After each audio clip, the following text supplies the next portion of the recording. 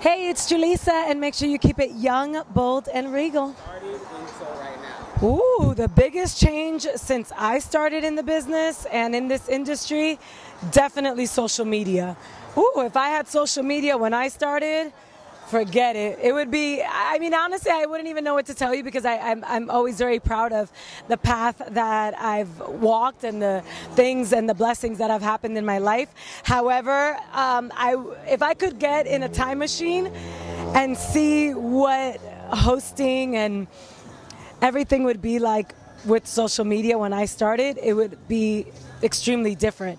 However, the shows that I was a part of, I don't even know if they would survive these days because people aren't running home to watch television anymore. It's all about social media. So, who knows? Very good at it. Okay. Feel um, going into that?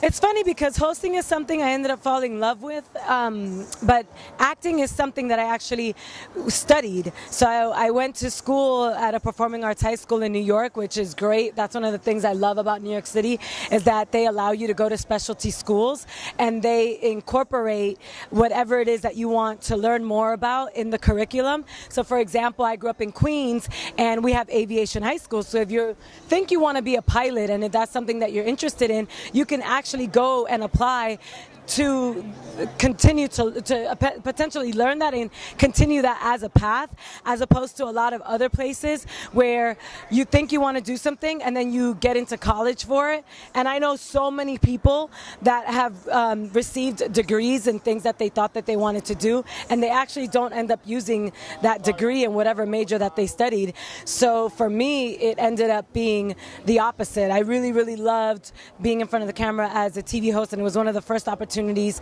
that I got in the business. And then acting is something that I've always had a love for, but the craft is very different, very unique, very, very special, very, very hard. You must work at everything in life, but definitely acting. And I'm happy to say that I'm finding the balance in all of it. And I have a new movie that I just finished shooting with Ashanti, Cedric the Entertainer. It's called The Plus One, and you guys will be hearing more about it very, very soon. And it's a really fun role. So.